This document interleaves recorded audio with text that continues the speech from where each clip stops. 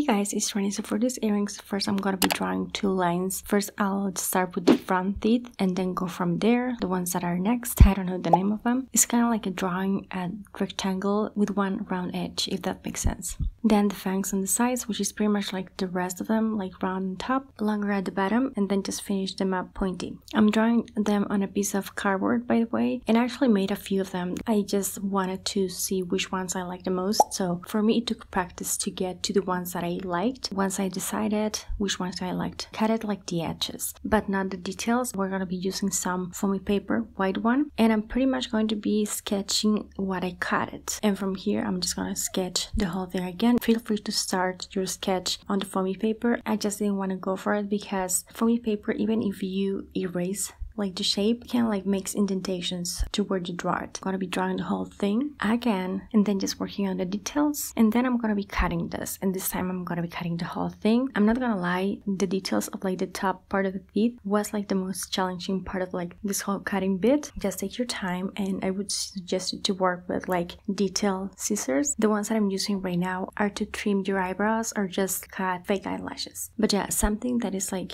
really delicate, sharp and pointy is gonna be best for this kind of project. Then I went ahead and cut it the top part of like my front teeth because they look kind of weird. So I just made them all even. I'm gonna be making just twice. I'm gonna be taking my dotting tool. I'm gonna separate each teeth. So I'm just gonna be working on those details, like make those indentations until it doesn't look like flat anymore. I'm gonna be taking this eye pin and I just cut it and made another loop on the other side. I do have a DIY showing you how to make eye pins and I'm gonna be cutting this in half. I'm gonna be gluing them using my crazy glue, gluing them on the back, and then just cutting like small stripes of that same foamy paper just so that I can glue them on the back and so my eye pins are not visible. I'm going to be making some blood drops using my hot glue gun and to make the drop shape, first I'm gonna release some glue and then just drag it to one side.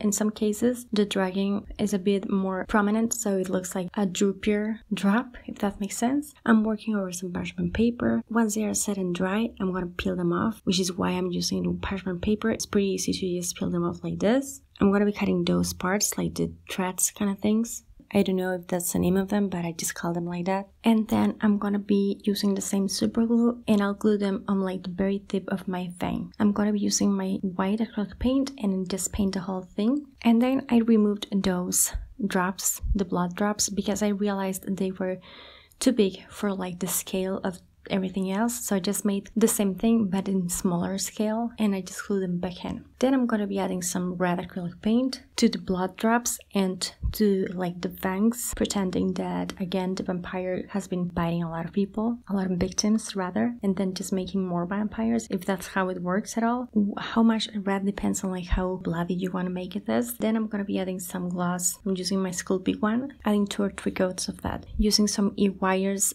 to turn this into earrings. The ones that I'm using are these ones. They are like flat on like the front part, which I think is a really nice and delicate detail. I love them. Opening my ear wires, placing my charms, and then just closing the loop. These are the earrings that I want to share with you. I love them. I thought I would just start my Halloween repertoire or repertoire, however you pronounce that word, with these ones. I don't think they look made out of paper that much. I think they look really cute. I love the scale, like how big these are because they are not like focal point big, but they're still a statement. This is kind of like what they would look like if you wear them as accessories for your vampire Halloween costume, or you know, you can always wear them as like fun Halloween accessories. They were so much fun to make, and I think they look super cute on. They're pretty much lightweight and pretty affordable to make, and I really hope you like them. If you did, give this video a thumbs up, let me know down below, and share this. Thanks so much for watching. I'll see you later, and take care. Bye!